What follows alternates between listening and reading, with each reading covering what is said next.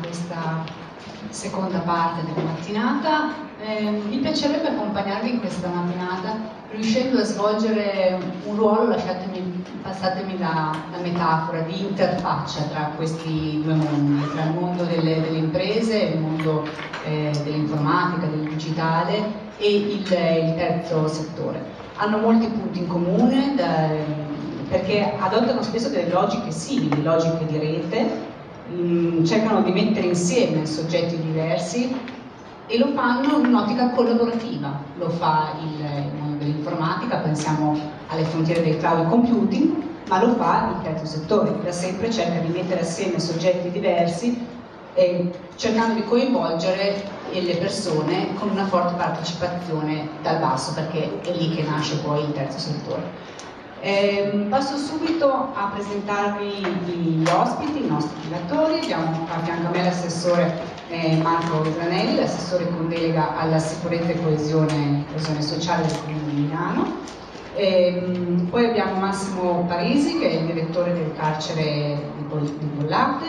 Don Gino Rigoldi, presidente della comunità Nuova, Lino Lacanina, presidente del CSV, Centro Servizio del Volontariato di Milano, Marco Lucchini, direttore generale della Fondazione Banco Alimentare Onlus,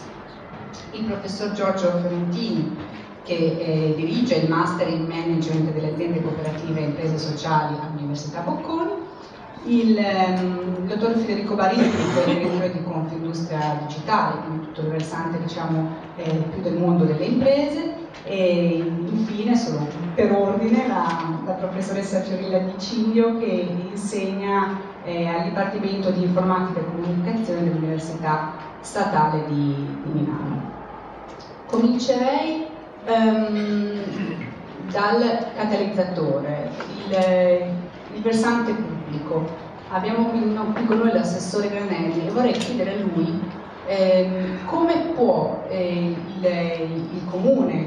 diciamo in generale il soggetto pubblico, in particolare in questo caso il comune di Milano, farsi promotore di eh, iniziative virtuose e di dialogo eh, tra questi due mondi. Eh, l'assessorato sta investendo molte energie, sappiamo, nella casa del volontariato. Come vedete il, il rapporto con mm, l'informatica, tutto il mondo digitale e più in generale tutto il versante dell'innovazione? Grazie, eh, appunto pare mm, per agganciarmi alla presentazione eh, il comune non è, è un'impresa, non è ente profit, almeno negli aspetti definitori, e, però penso che su questo tema abbia, possa avere un ruolo importante eh, stando poi attenti ad alcuni rischi. Eh, il ruolo importante penso che possa esistere è quello di riconoscere che eh, uno degli obiettivi che hanno le istituzioni e anche gli enti locali, quindi anche i comuni, eh, dentro che è scritto nella nostra Costituzione, quello scritto nell'articolo 118 che è stato anche recentemente appunto eh, cambiato, dove è stato inserito il principio di sussidiarietà e si dice che è appunto un dovere delle istituzioni, non una possibilità o così, una virtuosità da vacche grasse, ma un dovere sostenere i cittadini che appunto eh, autonomamente si organizzano per eh, eh, servire l'interesse generale e questa è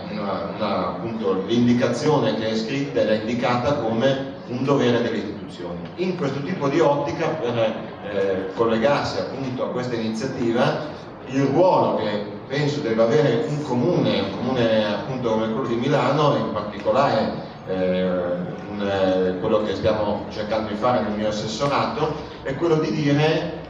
in questo ambito eh, riuscire a valorizzare la connessione tra le, la tecnologia, eh, le varie forme di tecnologia eh, nel, nell'ambito dell'informatizzazione e i soggetti di terzo settore che già possono e hanno contatti virtuosi e importanti, mi pare che diverse persone che sono qui lo testimoniano, l'hanno testimoniato in questi anni, però io penso che questo non possa essere lasciato al caso o alle situazioni di maggior pimposità nell'ambito del terzo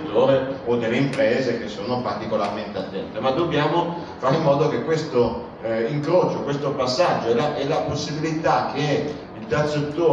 nella, nelle proprie dimensioni specifiche, nel suo insieme, possa avvalersi al massimo della eh, tecnologia eh, informatica, sia in senso hardware, software e comunque delle, eh, di tutte le opportunità che hanno e anche come modalità di pensiero, di organizzazione avvenga al massimo. Per questo vuol dire eh, appunto secondo me interpretare quell'indicazione che io facevo risalire alla Costituzione, cioè dire dobbiamo, eh, se compito dell'istituzione è quello di aiutare appunto queste organizzazioni a compiere meglio la loro missione, quindi non dire noi la missione che devono svolgere, ma sostenere loro, le, le, queste organizzazioni perché possono al meglio svolgere questo, io penso che questo sia un terreno fondamentale, perché oggi non avere accesso pienamente a questo tipo di tecnologie vuol dire eh, comunque avere maggiore complessità, e, mentre invece poter utilizzarla pieno vuol dire eh, investire al massimo, poter svolgere al massimo la missione, investire meno energie, essere più efficienti e quindi e, e diffondere anche maggiormente il proprio, il proprio, essere, la propria missione, le proprie attività, riuscire attraverso loro a fare eh, un, eh, un, sistema che possa permettere a un maggior numero di organizzazioni del settore, soprattutto quelle che sono più ramificate in città, eh, quelle anche più piccole che da sole non eh, sarebbero capaci di accedere, di poter avere eh, in, in, eh, in, maniera sempli, semplificata, meno costosa possibile, quindi avere più accesso a, ad hardware, a software e a formazione che permetta di utilizzare appieno questa tecnologia. Questo è, è un po' l'obiettivo e il lavoro che stiamo eh, cercando di costruire. Dico l'ultima cosa, certamente questo noi dovremmo fare insieme con l'associazione, cioè non, eh, non, non vogliamo sostituirci e quindi il, eh, i, i, secondi livelli, è un po' tecnica la parola, ma insomma, eh, non, non, le, non, le, singole organizzazioni, ma coloro che o per eh, finalità istituzionale come appunto il CSV o FORM o anche le aggregazioni di associazioni, le reti, per noi sono i principali partner, non solo perché devono ricevere questa cosa, ma perché ci aiutino ad essere al meglio al servizio e quindi non creare un passaggio in più, ma essere quel, quello strumento per dare volano a questo tipo di iniziative. Quindi questo è un po' il nostro obiettivo e quindi ci interessa molto e ringraziamo chi ha organizzato questa giornata perché permette di poter essere più efficaci, di poter avviare nei prossimi mesi questo lavoro insieme. Grazie.